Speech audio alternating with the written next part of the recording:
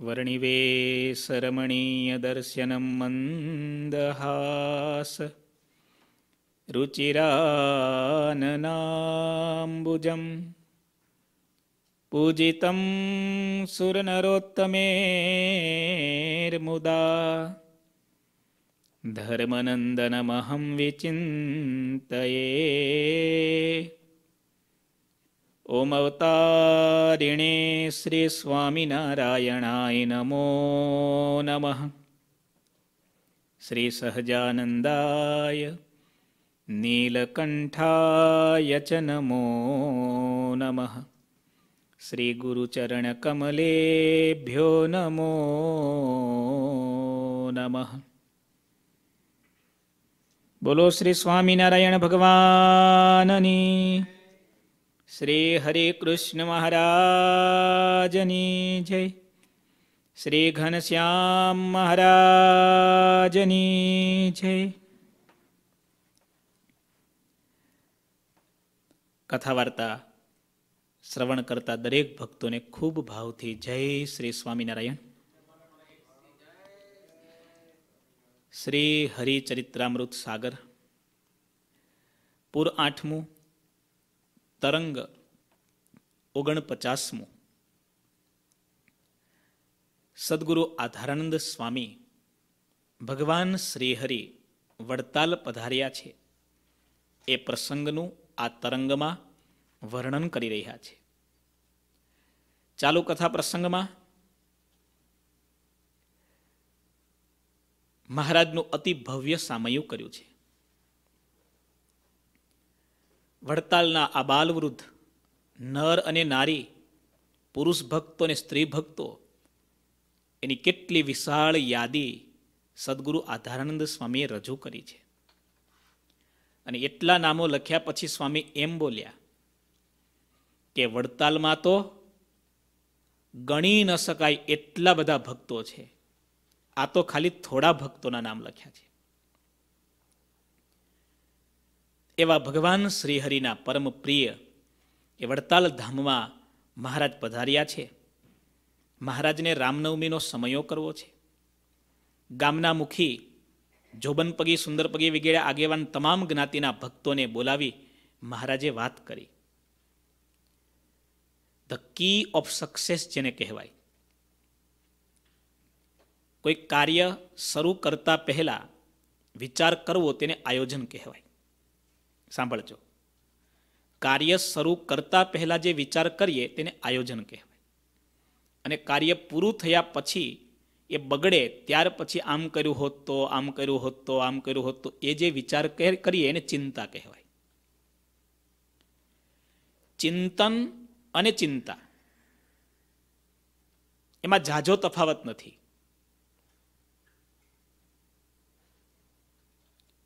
આપણે પણ એવી આદત પાડીએ. કાર્ય શરૂ કરતા પહેલાં મંથન કરીએ, ચિંતન કરીએ, પ્લાનિંગ કરીએ, મિટિંગ કરીએ, ચર્ચા કરીએ, વિચારણા કરીએ, વિચાર કરીએ. કામ પૂરું થાય ને પછી એ સફળ થયું હોય તો પણ મહારાજની ઈચ્છા અને નિષ્ફળ થયું હોય તો પણ પછી ગોદડું ઓઢીને સૂઈ જવાનું. પણ મોટા ભાગના લોકો શું કરે છે? સમજાણું તમને?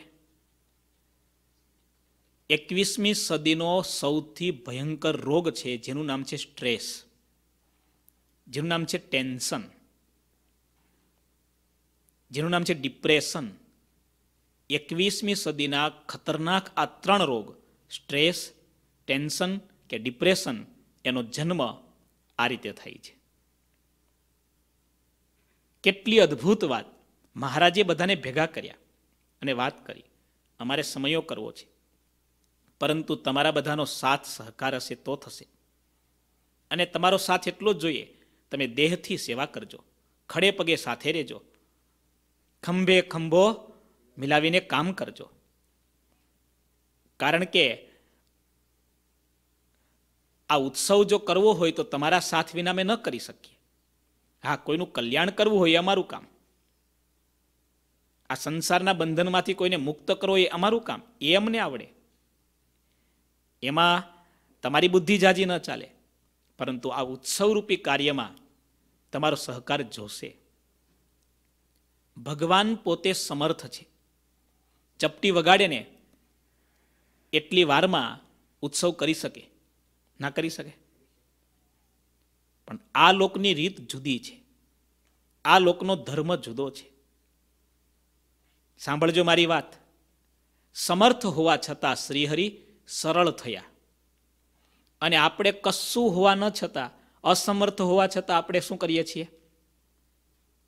મારે કોઈની જરૂર નથી.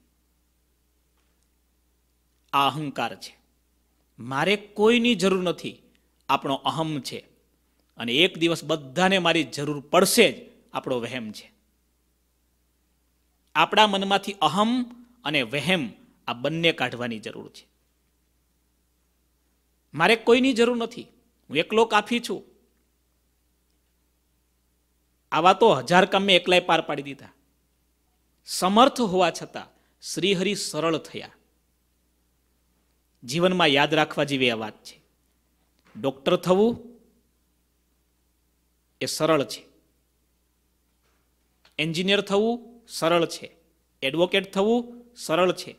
કોઈ મોટા પ્રેસિડેન્ટ બનવું સરળ છે. પણ સરળ બનવું ને એ અતિ કઠણ છે. અને હવે મહારાજ બધા દરબારોને વાત કરે છે. ઉત્સવ કરવો છે, આ પહેલી વાત છે. ઉત્સવ શા માટે કરવો છે? અમારું મિશન શું છે? અમારું લક્ષ્ય શું છે? હંમેશા જીવનમાં યાદ રાખો, આપણા કર્મ કરતાં પણ કર્મ પાછળનો આશય છે ને એ મહાન હોય છે. કર્મ દેખાય છે. કર્મ પાછળનો આશય દેખાતો નથી. ભગવાન શ્રીહરિના હોઠને સમજી શકનારા ઘણા હતા, પણ ભગવાન શ્રીના હૈયાને સમજી શકે એવા ઘણા ઓછા હતા. ગુરુના આદેશને સમજી શકે એવા શિષ્યો ઘણા હોય, ગુરુના આશયને સમજી શકે એવા બહુ ઓછા હોય. ગુણાત્યાનંદ સ્વામીને પૂછ્યું કે, સ્વામી, મોટા પુરુષની મરજી કેમ કરે તો જાણ્યામાં આવે? ત્યારે સ્વામી કહ્યું શું, ધૂળ ખબર પડે?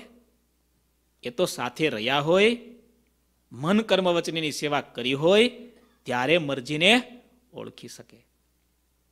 એ એક દિવસનું કામ છે. ભગવાન શ્રીહરિ પોતાનું મિશન અમારે આ ઉત્સવ કરવો છે શા માટે? મહારાજ પોતે વાત કરે છે. શું વાત કરે છે? કે લોકમાં ભક્તિ કરનારા ઘણા છે. પણ ધર્મે સહિત ભક્તિ નથી કરતા. એટલા માટે ભક્તિનું જે ફળ મળવું જોઈએ તે મળતું નથી. ધર્મ પાળ્યા વિનાની ભક્તિ છે, એ ફળને આપનારી નથી થતી. ફૂટી ગયેલા વાસણમાં પાણી ટકતું નથી, એમ ધર્મ વિનાની ભક્તિમાં દૈવત રહેતું નથી. ભિન્ન ભાંડાત યથાપય. મહારાજ અદ્ભુત વાતો કરે છે. કોઈ પણ મનુષ્ય ધર્મ પ્રમાણે ચાલતો હોય, તો તેમાં ક્યારેય દુઃખ આવતું જ નથી. ક્યારેક ભક્તિના નામે આપણે ધર્મને તોડીએ છીએ અને ક્યારેક ધર્મના નામે આપણે ભક્તિને તોડીએ છીએ. આપણા જીવનની આ બહુ મોટી ખામી હોય છે. જગતનો જીવ ખોટું કરે છે, એ અજ્ઞાનથી કરે છે અથવા અહંકારથી કરે છે. સાંભળજો મારી વાત. ભગવાનનો સંત કે ભક્ત ભૂલ કરે છે, એ ભક્તિના બળે કરે છે, કા મહિમાના બળે કરે છે. આપણે રોડ પર ગાડી લઈને જઈએ છીએ ગાડી બહુ સ્પીડમાં ચલાવીએ, સંતો ટકોર કરે, ભગત, આટલી સ્પીડમાં ગાડી ન ચલાવાય. ત્યારે શું કહે સ્વામી, તમે બાજુમાં બેઠા છો, ઠાકોરજી બાજુમાં બેઠા, શું થવાનું? બોલો, ભગવાન બચાવશે દરરોજ, દાદા. બચાવે. મહિમાના કેફે કરીને ભગવાનની આજ્ઞા લોપીએ એટલે કે ભક્તિના બળે કરીને ધર્મનું ખંડન કરીએ એ મહારાજને સંમત નથી. એટલા માટે મહારાજ વાત કરે છે, હવે અદ્ભુત વાત કરે છે. બે પ્રકારનો ધર્મ છે, લૌકિક ધર્મ, અલૌકિક ધર્મ. લૌકિક ધર્મ એટલે શું? આ થોડી આપણા જીવનમાં હવે યાદ રાખવા જેવી વાત છે. તીર્થ, વ્રત, જપ, યજ્ઞ, તપ, દાન, યોગ, કુવા કરાવવા, વાવ બંધાવવી, સદાવ્રત કરાવવા ધર્મશાળા કરાવવી, સારા રસ્તાઓ કરાવવા, પાણીની પરબ કરાવવી, ટૂંકમાં જેનાથી સારું કર્મ થાય, આ બધા જ કાર્ય શું કહેવાય? લૌકિક ધર્મ છે. આવી રીતે જે લૌકિક ધર્મ કરે છે, એનું ફળ આ લોકમાં સુખ છે અને પરલોકનું એને સુખ મળે છે. હવે આગળ મહારાજ વાત કરે છે. ભગવતનિષ્ઠ ધર્મ હિ જેતા અલૌકિક ધર્મ કહાવત તેતા. તેહી ધર્મ કર હરિ કો ધામા. તેહી ધર્મ કર હરિ કો ધામા. સદ્ય હિ પાવત નર અરુવામા.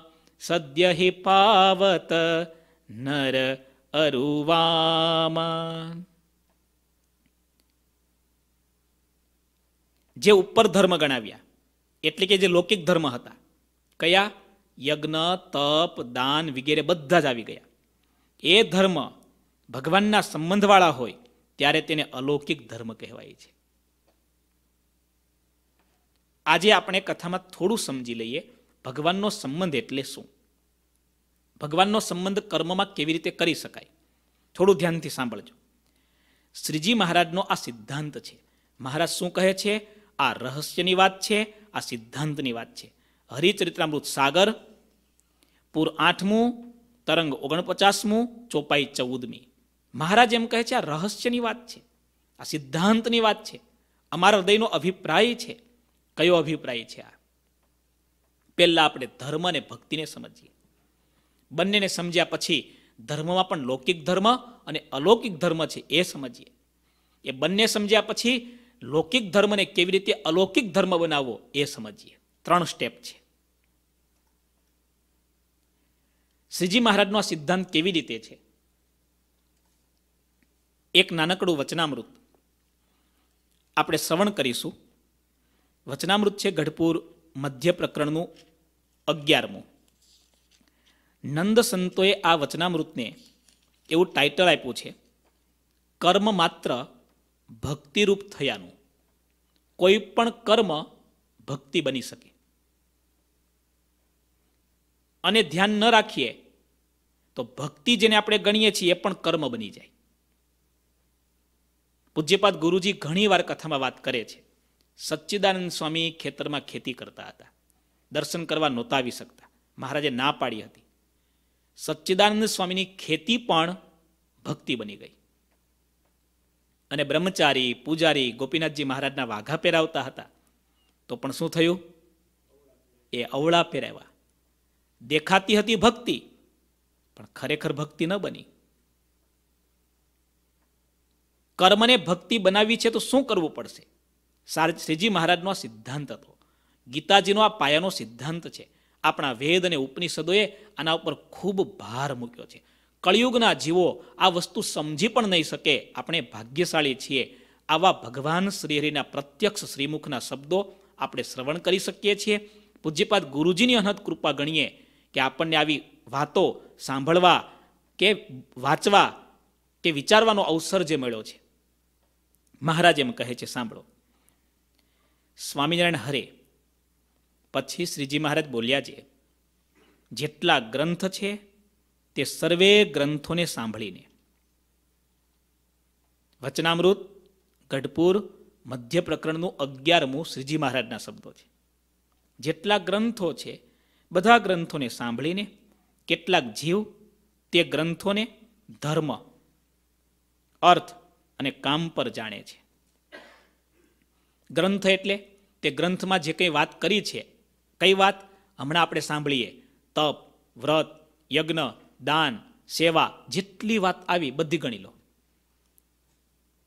કોઈક એ વાતને ધર્મ માટે સમજે છે. એટલે કે આપણે ઉદાહરણ તરીકે લઈએ યજ્ઞ. તો બ્રાહ્મણો યજ્ઞ નિત્ય કરતા.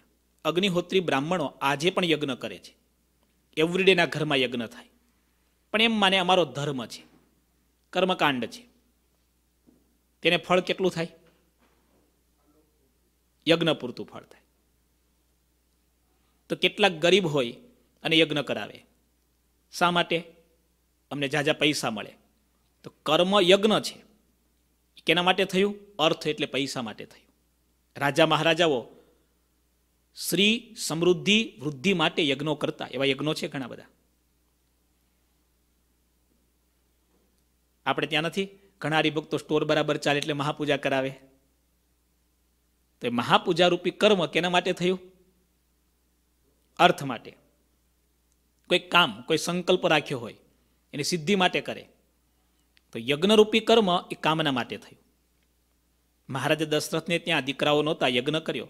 યજ્ઞ દ્વારા ફળ મળ્યો, આપણે જાણીએ છીએ. એવી ઘણી કથાઓ છે. તો કામનાની સિદ્ધિ થાય, એના માટે કોઈ કર્મને વાપરે છે. અને એ જ કર્મ ભગવાનને પ્રસન્ન કરવા માટે કરવામાં આવે, તો એ જ કર્મ મોક્ષ એટલે આત્યંતિક કલ્યાણને આપનારું બને છે. કર્મ એક જ છે, એના ફળ અનેક પ્રકારના છે. મારો શબ્દ એક જ છે, પણ સાંભળનારા અનેક માણસોને અનેક રીતનું ફળ આપે છે. કોઈ પણ કર્મ, સાંભળવું એ કર્મ છે.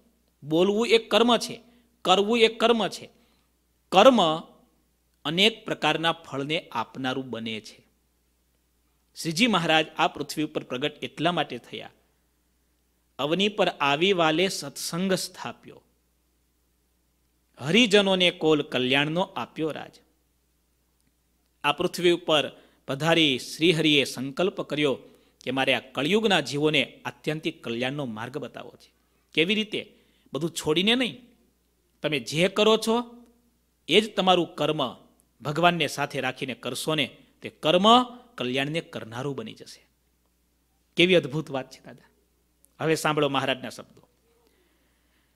એ ગ્રંથોને ધર્મ, અર્થ અને કામ પર જાણે છે. એમ જાણીને પોતે પણ ધર્મ અર્થને કામ તેને જ અર્થે યજ્ઞ, વ્રત આદિ શુભ કર્મ કરે છે. આવી ગઈ વાત? પછી તે કર્મનું ફળ દેવલોક અથવા બ્રહ્મલોક અથવા મૃત્યુલોક. તેને વિશે ભોગવીને પછી ત્યાંથી પડે છે અને નરક ચોરાસીમાં જાય છે. પૂરું થઈ ગયું? કર્મ શા માટે કરે છે? એનું ફળ કેટલું મળે છે? બધી મહારાજે વાત કરી. હવે શ્રીજી મહારાજ વાત કરે છે. અને જો અને જો તે જ કર્મ, કયું? યજ્ઞ, વ્રત, તપ વગેરે તે જ કર્મ જો ભગવાનની પ્રસન્નતાને અર્થે કરે, તો એ જ શુભ કર્મ છે, તે ભક્તિ રૂપ થઈને કેવળ મોક્ષને અર્થે થાય છે, ત્યાં શ્લોક છે, આમયો એન ભૂતાનામ જાયતે યશ્ચ સુવ્રત, તદેવ હ્યામયમ દ્રવ્યમ ન પુનાતિ ચિકિત્સિતમ. એવમ નૃણામ ક્રિયાયોગ સર્વે સંસ્કૃતિ હેતવ, તયવાત્મવિનાશાય કલ્પંતે કલ્પિતા પરે. ભગવાનનો સંબંધ એટલે શું? આ વચનામૃતમાં મહારાજની વાત ઉપરથી સ્પષ્ટ થાય છે. મારે એ સમજાવવું છે. લૌકિક કર્મ અલૌકિક બને છે. લૌકિક કર્મ આલોક પૂરતું સુખ આપશે. પણ અલૌકિક કર્મ જો બને તો આત્યંતિક કલ્યાણ સુધીનું સુખ આપશે. એક નાની એવી ખાલી સમજવા માટે વાત કરું. સો રૂપિયા તો સો રૂપિયા છે, પણ એ સો રૂપિયા એક માણસને મળે તો સોમાંથી હજાર કરે. બીજો એમાંથી લાખ કરે. ત્રીજોમાંથી કરોડ કરે અને સોમાંથી જીરો પણ કરે. કર્મનો પણ આ સિદ્ધાંત છે. કર્મ છે ને, એ સારી રીતે, સારા આશયથી કરવામાં આવે, તો આલોક, પરલોક સુધીના સુખને આપનારું બને છે. અને એ જ કર્મ જો વિચાર્યા વિના, સમજ્યા વિના કરવામાં આવે, તો એ જ કર્મ દુઃખનું કારણ બને છે. સંબંધ એટલે શું જુઓ? અને ભગવાનના ભક્તની અને વિમુખ જીવની ક્રિયામાં ઘણો ફેર છે. કેમ જે વિમુખ જે જે ક્રિયા કરે છે, તે પોતાની ઇન્દ્રિયોને લાડ લડાવવાને અર્થે કરે છે અને ભગવાનનો ભક્ત જે જે ક્રિયા કરે છે, તે તો કેવળ ભગવાન અને ભગવાનના ભક્ત તેની સેવાને અર્થે કરે છે. માટે હરિજનની સર્વે ક્રિયા તે તો ભક્તિરૂપ છે લો. હરિજનની સર્વે ક્રિયા તે તો ભક્તિરૂપ છે. વચનામૃત મધ્યનું અગિયારમું. હવે શ્રીજી મહારાજની સાગરની આ વાતને થોડી સમજીએ. મહારાજ એમ કહે છે, સાંભળો. જે ધર્મ ભગવાનના સંબંધવાળો હોય તેને અલૌકિક ધર્મ કહેવાય. હવે સમજાણું? ભગવાનને રાજી કરવા માટે કરેલું કર્મ અથવા ભગવાનની આજ્ઞાથી કરેલું કર્મ. હજી થોડું સમજીએ. ગઈકાલનું ઉદાહરણ. મહારાણી ઋણાદેવબાઈએ આત્મહત્યા કરી. લૌકિક દ્રષ્ટિએ એમ દેખાય કે એ સારું કર્મ નહોતું, શુભ કર્મ ન કહેવાય. લૌકિક દ્રષ્ટિએ પાપ છે. આત્મહત્યાને મહાપાપ ગણ્યું શાસ્ત્રોમાં. પણ તેમ છતાં એણે કરવી પડી છે પોતાના ધર્મની રક્ષા કરવા માટે, પોતાના શીલની રક્ષા કરવા માટે. અને મરતા મરતા એણે સારું કાર્ય કરી, ભગવાનને પ્રાર્થના કરી, આત્મવિલોપન કર્યું. પરિણામ શું આવ્યું? વચનામૃતમાં શ્રીજી મહારાજે એટલા માટે આ બધી વાતો ખૂબ સૂક્ષ્મ રીતે સમજાવી છે. ઘણીક વાર આપણે બીજો માણસ શું કરે છે જોવા જઈએ ને, ત્યારે આપણી બુદ્ધિ ટૂંકી પડે છે. એટલા માટે બીજાના કર્મને ક્યારેય આપણે તોલવા ન જોઈએ. આપણે જસ્ટિસ નથી છીએ. જસ્ટિસ પુરુષોત્તમ નારાયણ છે. પૂજ્યપાદ ગુરુજીએ હમણાં કથામાં ઘણી વાર વાત કરી ઘણી વાર વાત કરી. બીજાનો અભાવ છોડીએ અને આપણા સ્વભાવ છોડીએ. આપણે બીજાના તમામ કર્મનો હિસાબ કરીએ છીએ. એ શું બોલ્યો, એને શું ન બોલવું જોઈએ, એને શું બોલવું જોઈએ, બધો હિસાબ કરીએ છીએ, બોલો. હમણાં આખો ભારત દેશ તૂટી પડ્યો છે. સરકારે આવું પગલું ભરવું જોઈએ. સરકારે આમ પાકિસ્તાન સામે કરવું જોઈએ. પણ કરવા જાવ તો ખરા એકવાર સરહદ ઉપર? એકવાર તો જાઓ. બોલવું બહુ સહેલું હોય છે. સલાહ આપવી બહુ સહેલી હોય છે. કોઈકનું નેગેટિવ જોવું એટલું સરળ છે. એક સેકન્ડમાં તમે પકડી પાડો. પણ સામે પોતાની ભૂલ પકડવીને હરિકૃપા બીનું દોષની ઝકેરા દેખે મેં ન આવત કો વેરા. નિજ કો દોષ દેખાત હે જાકો. હરિ કે કૃપા સમજના તાકો. ભગવાનની કૃપા જેના ઉપર થાય, એને પોતાના દોષ દેખાય, પોતાના સ્વભાવો દેખાય. આ બધી વાતો આપણે આપણા સ્વભાવોનું સંશોધન કરવા માટે કરીએ છીએ. વચનામૃતમાં શ્રીજી મહારાજને પ્રશ્ન પૂછ્યો છે વડતાલનું વચનામૃત ચૌદમું છે. પૂજ્યપાદ ગુરુજીએ આ વચનામૃત ઉપર ઘણી વિસ્તારથી વાતો કરી છે. આનો સાર શું છે એટલું વાંચું છું, જુઓ. મહારાજ એમ કહે છે, વિમુખ જીવ જેને ધર્મી જાણે છે, ઘણીવાર એ ધર્મી નથી હોતો. દુનિયાની દ્રષ્ટિમાં કોણ ધર્મી છે? મંદિરમાં આવીને બેસતો હોય, મોટો ચાંદલો કરતો હોય, ગળામાં જાડી કંઠી હોય, બરાબર? લાલ લુગડા પહેર્યા હોય, સીતાજી પણ ભૂલા પડ્યા. સીતાજીએ જોયું, લાલ કપડાવાળા હતા. ભિક્ષા લેવા માટે આવ્યા હતા. પણ કોણ હતા?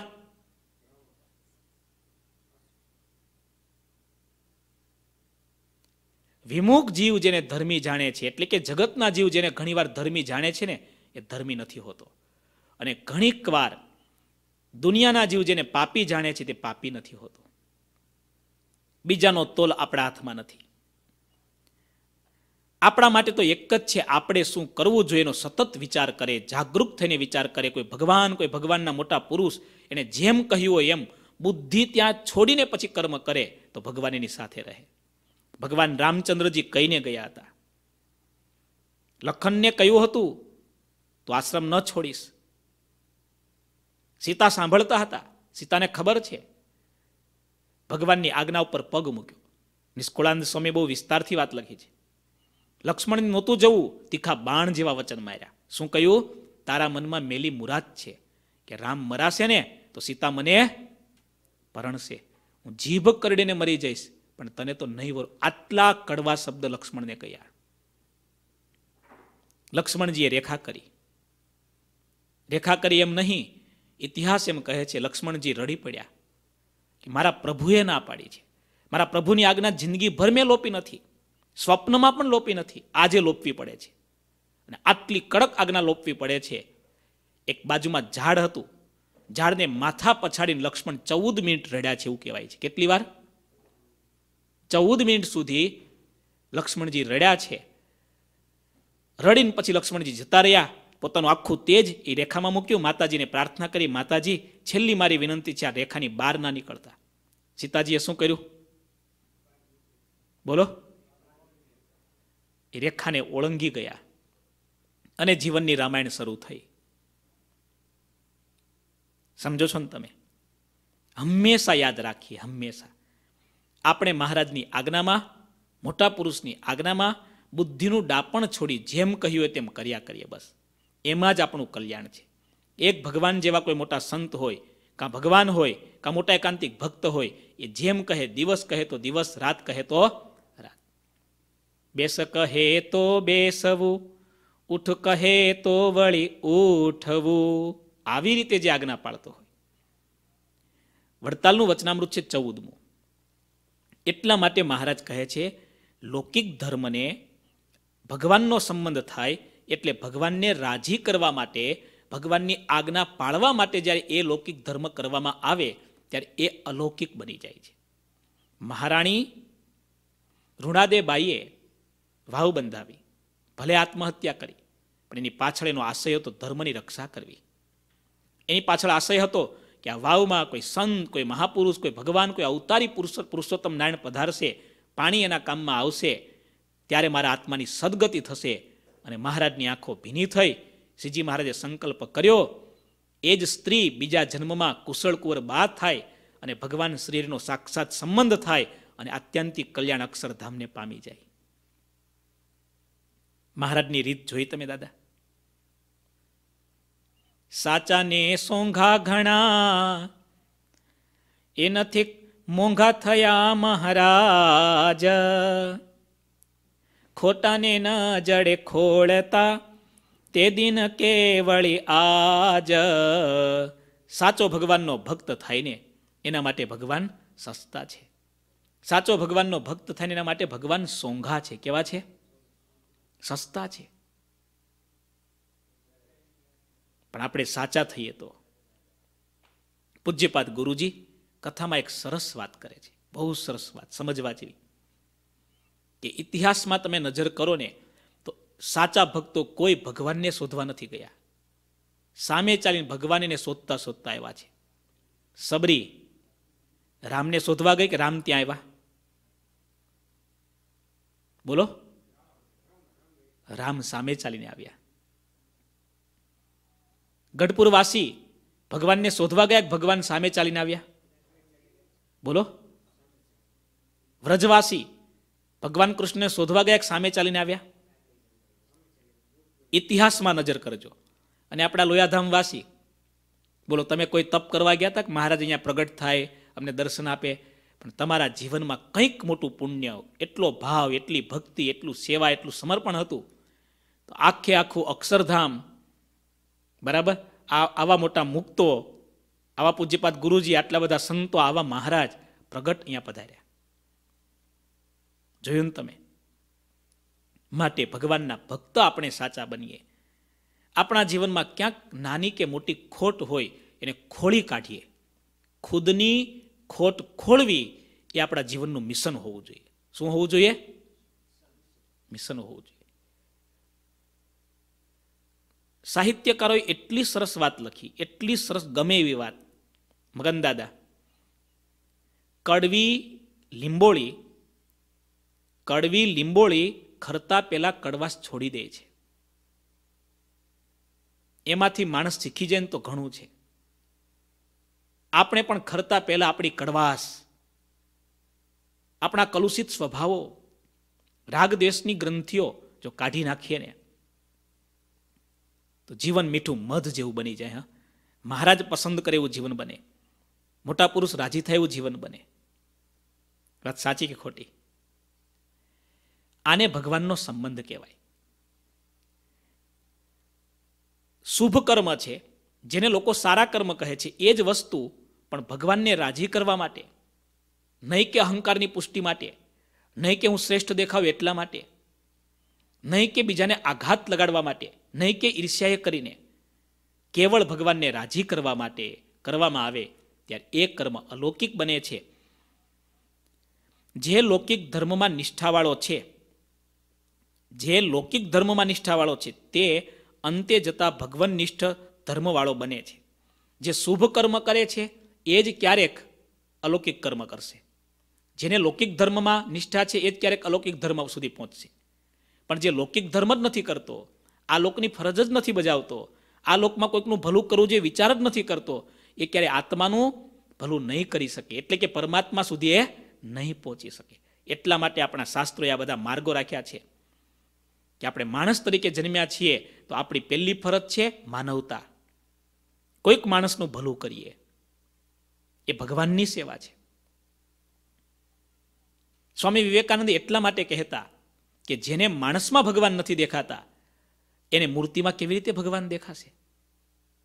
એટલા માટે ગીતાજીમાં લખ્યું, સુની ચેવ સ્વપાકે ચ પંડિતા સમદર્શિન વિદ્યા વિનય સંપન્ને બ્રાહ્મણે ગવિ હસ્તિની ભગવાનના પરમ ભાગવત જે સંત છે, એની સ્થિતિ એવી હોય છે, એને ભગવાનમાં તો ભગવાન દેખાય છે, પણ એક સામાન્ય જીવમાં પણ ભગવાન દેખાય છે, એટલું જ નહીં, પશુને પંખીમાં પણ એને ભગવાન બેઠેલા દેખાય છે. ભાગવતજીના એકાદશ સ્કંધમાં લખ્યું કે મૂર્તિમાં ભગવાન જુએ છે, એ કનિષ્ઠ છે. મૂર્તિમાં ભક્તોમાં ભગવાનને નિહાળે છે, મધ્યમ છે. જીવ પ્રાણી માત્રમાં જે ભગવાનને નિહાળે છે, ઉત્તમ છે. ભગવાન તો સર્વત્ર બેઠા છે, પણ એ દ્રષ્ટિ કોની થાય? એ ભગવાન જેવા મોટા પુરુષ હોય ને એની દ્રષ્ટિ થાય. એ ખોળી કાઢે. એમાંથી ખોળી કાઢે. પ્રહલાદ જેવી નજર બને ને, એને પથ્થરમાંથી પણ. પ્રહલાદની સામે પથ્થરનો થાંભલો હતો. હિરણ્યકશિપુએ હાથમાં ખડગ લીધી છે અને પ્રશ્ન પૂછ્યો છે, બોલ, તારો ભગવાન ક્યાં છે? તારો નારાયણ ક્યાં છે? હિરણ્યકશિપુએ બધા પ્રયત્ન કર્યા. અગ્નિમાં નાખ્યો, પાણીના કૂવામાં નાખ્યો, હાથીના પગ નીચે નાખ્યો. પ્રહલાદ મરાયો નહીં. હિરણ્યકશિપુને થયું, હવે તો મારા હાથે રાય રાય જેવડા ટુકડા કરી નાખું. આજે નક્કી કરું. છોડું નહીં આને. જોઈ લઉં આને. કેવી રીતે એનું નારાયણ બચાવે છે વિચારો. પાંચ વર્ષની ઉંમર પ્રહલાદની. કેટલી? કેટલી બોલો તો ખરા? અને હિરણ્ય કશિપુ ત્રિલોકી આખી જેનાથી ધ્રુજે અને સગો બાપ, પુત્ર મોહ છોડીને, પુત્રનો અપાર મોહ હતો એને, શાસ્ત્રમાં લખ્યું, પુત્રનો મોહ છોડીને હાથમાં ખડગ લઈ મારવા તૈયાર થયો છે. એક બાજુ એમ થાય, નહીં નહીં, દીકરાને ક્યાં મારવો? પણ એમ થાય, મારી જ નાખું. મારા દુશ્મનની ભક્તિ કરે છે. મારા શત્રુની પ્રાર્થના કરે છે. એની પૂજા કરે છે. શત્રુના ગુણગાન ગાય છે. ક્યાં છે તારો નારાયણ? પ્રહલાદે શું કહ્યું? ક્યાં નથી? ક્યાં નથી? ક્રોધ તો એટલો બધો હતો, પણ એક બાજુ કરુણા પણ હતી. દીકરો હતો ને, મોહ હતો. સામે પથ્થરનો થાંભલો હતો. પૂછ્યું, આમાં છે? પ્રહલાદે કહ્યું, હા. પ્રહલાદની દ્રષ્ટિ હોય, એના માટે પથ્થરમાં પણ ભગવાન બેઠા છે, બોલો. અને પથ્થરના થાંભલામાંથી ભગવાન પ્રગટ થઈ આપણે જાણીએ છીએ. નાસ્તિકની નજર હોય ને એના માટે નારાયણ સાક્ષાત સામે ઊભા હોય ને તો પણ એના માટે પથ્થર છે. સમજાણું દાદા? દ્રષ્ટિને સુધારવાની ખૂબ જરૂર છે. દ્રષ્ટિ એટલે સમજણ. दृष्टि में तेरे दोष है दुनिया निहारती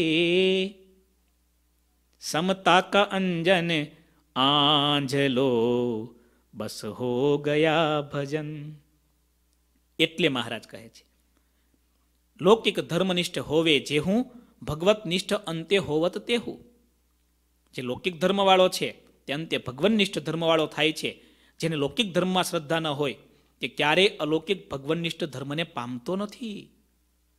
જેને લૌકિક ધર્મમાં નિષ્ઠા નથી, લોકનું ભલું નથી વિચારતો, માણસનું ભલું કરવાનો જેના મનમાં વિચાર નથી, એ ક્યારેય આત્માનું ભલું પણ નહીં કરી શકે. શુભ ધર્મશાસ્ત્રનો આવો સિદ્ધાંત છે અને અમારો પણ મત આવો જ છે. પોતાનો મત, પોતાનો સિદ્ધાંત શ્રીજી મહારાજે વડતાલમાં કહ્યો, જે મનુષ્ય જેટલી ધર્મની બરદાસ્ત રાખે છે, તેટલા તેના દુઃખો નાશ પામે છે. મહારાજના એકે એક શબ્દો વિચારવા જેવા છે. જે મનુષ્ય જેટલી ધર્મની બરદાસ્ત રાખે છે, તેના તેટલા દુઃખો નાશ પામે છે. શ્રીહરિના આવા વચનોને સાંભળીને ગામના બધા મુખી ઉલ્લાસથી બોલ્યા, હે પ્રભુ, આપ જેમ કહો તેમ અમે કરીશું, તેમાં અમે લગારે પાછી પાની નહીં કરીએ. મહારાજ, આપને તો અનંત બ્રહ્માંડો વશ છે. આપ આવા બળવાનને સમર્થ છો. ભવ બ્રહ્માને ઇન્દ્રાદી દેવો પણ આપની સેવા ચાહે છે. તે સેવા તેમને કોઈ કાળે મળતી નથી. આપ તો એવા પરમ દયાળુ છો. તે અમને સેવા આપી રહ્યા છો. કઈ સેવા? ઉત્સવ કરવાની. વાત શરૂઆત ઉત્સવથી થઈ હતી ને? મહારાજે બે સંકલ્પ કર્યા. એક તો ઉત્સવ અમારે કરવો છે અને ઉત્સવ શા માટે કરવો છે? બંને વાત કરી. ભક્તો રાજી થયા. મહારાજ, મોટા દેવતાઓને જે સેવા નથી મળતી, એ સેવા અમને મળી છે. અને વાલા ભક્તો આપણે પણ ભાગ્યશાળી. પૂજ્યપાદ ગુરુજી આટલું લાંબુ રોકાયા. આ શિક્ષાપત્રી ભાષ્ય જેવી દિવ્ય કથાનો આપણને લાભ આપ્યો. અત્યારે ઇન્ડિયામાં સદવિદ્યા ટીવી ચેનલમાં પૂજ્યપાદ ગુરુજીની શિક્ષાપત્રી ભાષ્યની કથા હમણાં ચાલી રહી છે. ઇન્ડિયાના જે જે ભક્તો લાભ લે છે એટલા રાજી થાય છે. આવી દિવ્ય કથા અમને ઘરે બેઠા અમારી સાનુકૂળતા પ્રમાણે મળી રહી છે. ત્યારે વાલા ભક્તો આપણે સામે બેસીને લાભ મળે છે. આ મોટા પુરુષની અનહદ કૃપાને કરુણા છે. આપણા માટે મોટી તક છે. તક આવે ને ત્યારે ઝડપી લઈએ માટે જરૂરથી બધા ભક્તો કથા વાર્તાનો લાભ લેજો અને આપ સર્વે જાણો છો આપણો પંચાબ્દી મહોત્સવ આવી રહ્યો છે. સદગુરુ સ્મૃતિ મહોત્સવ આવી રહ્યો છે. પૂજ્યપાદ ગુરુજીને રોકાવાનું કારણ જ આ ઉત્સવના આમંત્રણ માટે પૂજ્યપાદ ગુરુજી એકે એક ઘરે પધાર્યા, એકે એક ભક્તોને આમંત્રણ આપ્યું છે. ત્યારે વાલા ભક્તો પૂજ્યપાદ ગુરુજીના આમંત્રણને સ્વીકારી આ ઉત્સવમાં સાતે સાત દિવસ આવવા માટે અત્યારથી રજીસ્ટ્રેશન કરી દેજો. મહારાજ શું કહે છે? અમારે ઉત્સવ કરવો છે. મહારાજના સંકલ્પને ભક્તોએ કેવી રીતે વધાવ્યો? મોટા મોટા દેવોને પણ સેવા ન મળે એ સેવા પ્રભુ આપે અમને આપી છે. આ તો આપની કૃપા છે. આ તક અમે કેમ જવા દઈએ? શ્રીહરિ તે સહુના વચનોને સાંભળી તેમના ઉપર અતિશય રાજી થયા. અને પછી શ્રીહરિએ રામનવમીના ઉત્સવ ઉપર વડતાલ આવવાના પત્રો દેશ દેશમાં લખ્યા. હવે મહારાજ પત્ર લખે છે. પત્રમાં પણ હિતની વાત અને કલ્યાણની વાત લખે છે. મહારાજની કોઈ પણ વાત એમાં ત્રણ વસ્તુ જોવા મળે. એક આલોક માટે હિતની વાત. આત્મા માટે હિતની વાત અને આત્યંતિક કલ્યાણની વાત. પત્રમાં મહારાજે શું લખ્યું? સહુ હરિભક્તો, સમયો કરવા વડતાલ આવજો, પણ ઘરમાં ક્લેશ થાય એ રીતે આવશો નહીં. ઝઘડો કરીને મંદિરમાં આવશો? આલોકની વાત. હવે આત્મા માટેની વાત લખે છે. અને મોક્ષના માર્ગે ચાલવામાં અસુર દ્વેષ કરે છે. તે દ્વેષરૂપી અસુર માતા પિતા, ભાઈ, પત્નીમાં પ્રવેશ કરે છે. આપણને અસુરો કોણ નડવાવાના? કોણ નડવાવાના દાદા? હે? સમજી ગયા ને તમે? આપણને કઈ પેલા શિંગડાવાળા અસુર, હજાર હાથવાળા અસુર જે જૂના સમયમાં હતા એ આવવાના જ કોઈ? અસુરને ઓળખવા પડશે, મહારાજ કહે છે. અવિદ્યાએ સંકલ્પ કર્યો હતો. કેવો? ભગવાન પૃથ્વી ઉપર પ્રગટ થવાના હતા, ત્યારે અવિદ્યા, માયા એણે મિટિંગ બોલાવી અને મિટિંગમાં બધાએ સંકલ્પ કર્યો, એક કહે, થાવું એની માત રે, નિત્ય શીખવું પાપની વાત રે, બોલો. એક કહે, થાવું એની માસી રે, નાખું ગળામાં પાપની ફાંસી રે, આવા સંકલ્પ કર્યા. અસુર માતા, પિતા, ભાઈ, પત્નીમાં પ્રવેશ કરે છે. જેને સત્સંગનું બળ હોય, તે અસુરને કોઈ ગણકારતા નથી. તે ગમે તે રીતે છળ કરીને પણ પોતાનું કામ સુધારી લે છે. મહારાજ પત્રમાં ઇન્ડાયરેક્ટલી કહે છે કે તમે ઉત્સવમાં, સમયમાં દર્શન કરવા આવવા તૈયાર થશો, અનેક પ્રકારના વિઘ્નો આવશે. અને કોણ નાખશે વિઘ્નો? આ એ નજીકવાળા જ નાખશે. માટે સાવધાન રહેજો. ડાયો માણસ એ છે, ગમે એવા વિઘ્ન આવે, છતાં પોતાનું કામ બગડવા ન દે. જો પોતાના જીવનું હિત કરવું હોય, તો સત્પુરુષ વિના કોઈ સુધારી શકતું નથી. સંતો તો જીવના સાચા મિત્ર છે. તેમને સારી રીતે સમજી લેવા જોઈએ. સંસારમાં જેટલા સંબંધી છે, તે બધા કંઈ હરિભક્ત થયા નથી અને કોઈ થવાના પણ નથી. જેટલા મોટા સગા, એટલા મોટા આપે દગા. આ જગતમાં એમ જ ચાલ્યું છે. સંસારમાં જેટલા સંબંધી છે, કોઈ હરિભક્તો થયા નથી. તે લોકો તો સંસારને હિત માને છે. મોક્ષ માર્ગને લગારેક સમજી શકતા નથી. અને ગુરુએ પણ સંસારનું જ્ઞાન જો ન મેળવ્યું હોય તેવા ગુરુથી પણ ક્યારેય અજ્ઞાન ટળે નહીં. જે ગુરુને જેવું જ્ઞાન હોય તેવું તે શિષ્યને બતાવે છે. ભગવાનનો ભક્ત જ્યારે ભગવાનના માર્ગે ચાલે ને, ત્યારે સાચા સંત મળે ને, તો સો જન્મની કસર આજે ટાળે. સો જન્મે કલ્યાણ થવાનું હોય, પણ સાચા સંત મળે તો આને આ જન્મે કલ્યાણ કરાવી દે. પણ યાદ રાખજો, જો ખોટા મળી જાય ને, તો આ જન્મે કલ્યાણ થાય એવી શ્રદ્ધા, એટલું મુમુક્ષુપણું હોય પણ સો જન્મે પણ બેડો પાર ન થાય, આવો ભટકાવી નાખે. એટલા માટે તો આપણા શાસ્ત્રોમાં બધું બહુ લખ્યું છે. એ ખાતા પીતા જોતા જણાશે રે, આશય એના અંતરનો સાચા સંતને ઓળખતા શીખવું જોઈએ. આપણે ભાગ્યશાળી છીએ આપણને એવા પવિત્ર, એવા વર્તમાનયુક્ત, એવા મહારાજના કરેલા નાના મોટા તમામ વચનોને શિર સાટે પાળનારા સદગુરુ સંત મળ્યા છે, પૂજ્યપાદ ગુરુજી. એવા આપણા બ્રહ્મનિષ્ઠ સંતો મળ્યા છે. પણ આ શાસ્ત્રની વાત સાંભળીને સત્યને અસત્યનો ભેદ તો ઓળખી જ રાખવો જોઈએ. જો અસત્યને ન ઓળખ્યું હોય ને, તો ક્યારેક અસત્યમાં ફસાવાની શક્યતા બહુ વધી જાય. સત્યને જાણવું જેમ જરૂરી છે, એમ અસત્યને પણ જાણવું એટલું જ જરૂરી છે. ક્યાં ખોટું છે? શું ખોટું છે? અસત્ય કેવું હોય, એની જંજાળ કેવી હોય, એટલા માટે મહારાજ સાવધાન કરે છે પત્ર લખે છે. જગતના સંતોને વિપ્રો છે, જગતને પ્રિયકારી માને છે. વેદ અને પુરાણોને ભણવાથી શું થશે? જો જગતમાં આસક્તિ જ કરવી હોય, તેવા લોકોથી જન્મ અને મરણ છૂટતા નથી. તેઓ તો મરીને યમપુરીમાં જાય છે. સત્પુરુષ મળ્યા વિના તે અંગે જગતમાં બધા કંઈ જાણતા હોતા નથી. જેને પોતાના આત્માનું કલ્યાણ કરવું હોય, તેવા હરિભક્તે જગતની વાસનાવાળા લોકોની પાછળ પાછળ ચાલવું નહીં. જેણે પોતાના આત્માનું કલ્યાણ કરવું હોય, તેવા હરિભક્તે જગતની વાસનાવાળા લોકોની પાછળ પાછળ ચાલવું નહીં. ગુણાત્યાનંદ સ્વામીની આ વાત આપણે રોજ યાદ રાખવી જોઈએ. રોજ. એકવીસમી સદીના મોટા પ્રશ્નોમાં જે અત્યારે આખી દુનિયામાં ચર્ચાતો પ્રશ્ન છે, એ છે સરખામણી. હવે સ્ત્રીને પુરુષના સમવડિયા થવું છે.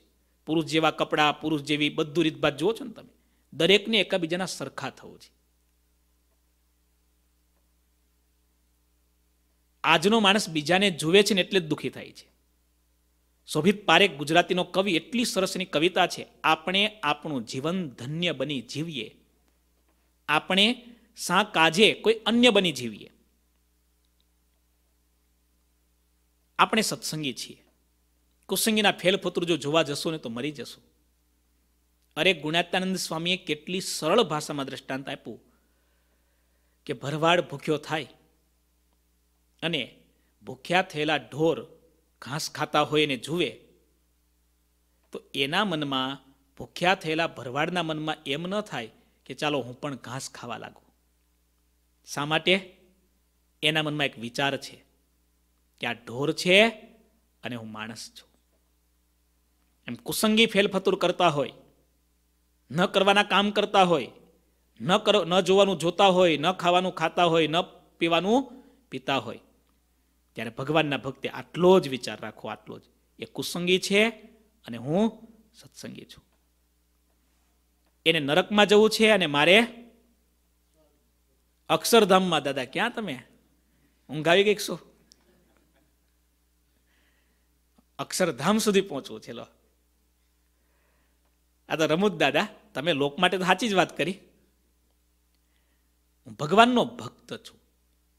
હંમેશા લક્ષ્યને આપણે જો આગળ રાખીએ ને તો ક્યારેય વાંધો ના આવે.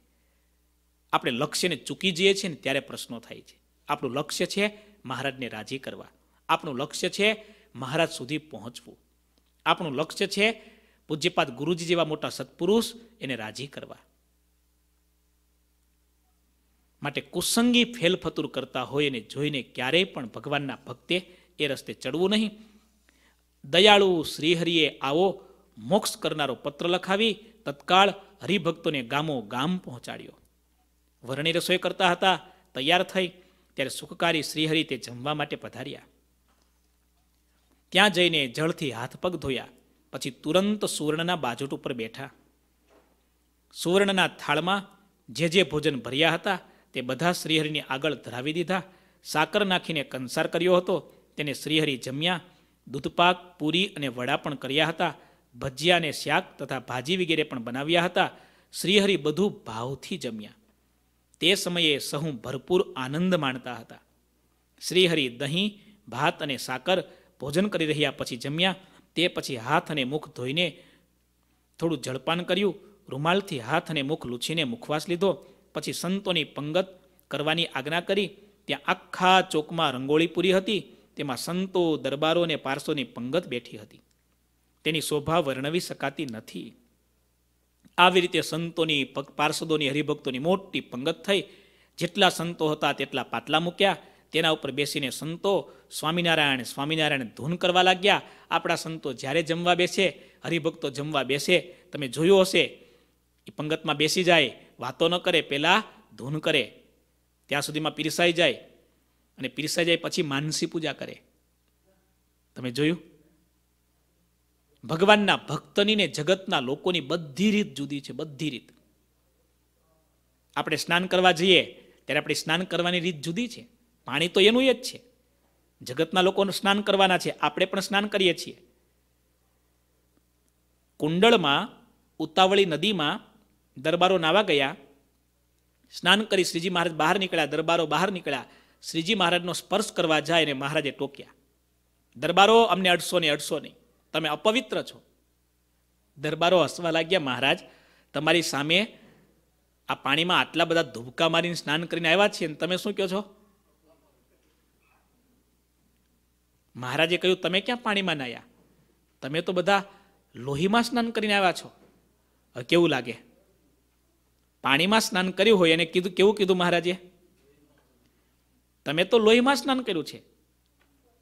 દરબારોએ વિનંતી કરી, મહારાજ, તમારી વાત સમજાણી નહીં. ત્યારે મહારાજે કહ્યું, દરબારો તમે સ્નાન કરતા હતા, કેટલી ધમાલ કરી, કેટલી મસ્તી કરી, પાણી જોઈને તમે બધા ગાંડા થયા, એક પણ વાર તમે ભગવાનને યાદ ન કર્યા. આ પાણીમાં સ્નાન નહીં, આ તો કુંજર સ્નાન છે, હાથીનું સ્નાન છે આ પવિત્ર કરનારું સ્નાન નહીં, આ તો ઉલટાની અપવિત્રતા વધારનારું સ્નાન છે. પાપને વધારનારું સ્નાન છે. આવા સ્નાનથી ક્યારે તમે પવિત્ર નહીં બનો. મહારાજે દરબારોને ફરીવાર સ્નાન કરાવ્યું. આ કોનું સ્નાન? ભગવાનના ભક્તનું સ્નાન. ભગવાનના ભક્તની દરેક ક્રિયા. ખાવું, પીવું, બેસવું, સૂવું, જોવું ચાલ્યા જવું કે વળીનાવું ધોવું ખાવું જમવાની રીત આપણી જુદી હોય ગમે ત્યાં જઈએ ગમે ત્યાં જઈએ વાલા ભક્તો યાદ રાખીએ આ વાત ન ભૂલીએ ભગવાનને સંભાળી માનસી પૂજા કરી મહારાજની આજ્ઞા હોય એ પ્રમાણેનું જમીએ ખાવું પીવું પીવાની રીત ભગવાનના ભક્તની જુદી હોય ગાળેલું હોય પવિત્ર વાસણમાં ભરેલું હોય એવી વસ્તુ આપણે વાપરીએ. ખાવું, પીવું, બેસવું, બેસવાની રીત પણ જુદી હોય.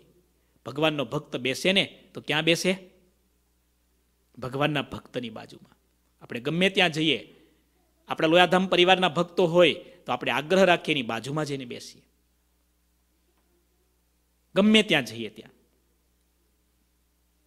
બેસવું સામાન્ય છે, પણ એની અસર ઘણી મોટી થતી હોય. તમે જેની બાજુમાં બેસો છો ને અત્યારનું તો વિજ્ઞાન એટલું નજીક આવી ગયું છે કે કોઈ રોગિષ્ટ માણસ હોય, કોઈ રોગિષ્ઠ માણસ હોય, તમને ખબર છે? હું કહેવા એટલા માટે માગું છું કે આપણી દરેક ક્રિયામાં જો મહારાજને સાથે રાખીએ ને, તો ભગવાન ડગલે ને પગલે આપણી રક્ષા જરૂર કરે છે. અને ભગવાનને ભૂલીને કોઈ પણ ક્રિયા કરી, તો એ આપણી ક્રિયા આપણા માટે દુઃખ આપનારી બને છે. આવી રીતે સંતોની પંક્તિ થઈ. સંતો બધા પાટલા ઉપર બેઠા છે, સ્વામિનારાયણ મંત્રની ધૂન કરે છે. હવે મહારાજ સંતોને ખૂબ પ્રેમથી, ભાવથી વડતાલ ધામમાં જમાડશે. એ કથા આવતીકાલે. ઇતિ શ્રી સહજાનંદ સ્વામી શિષ્ય સિદ્ધાનંદ મુનિ વિરચિત શ્રી હરિચરિત્રામૃત સાગરના અષ્ટમપુરમાં શ્રી હરિએ રામનવમીનો ઉત્સવ કરવા માટે વડતાલના હરિભક્તોની સંમતિ લીધી અને સત્સંગમાં પત્ર લખાવ્યો. એ નામે ઓગણપચાસમો તરંગ સમાપ્ત થયો. બોલો ઘનશ્યામ મહારાજ.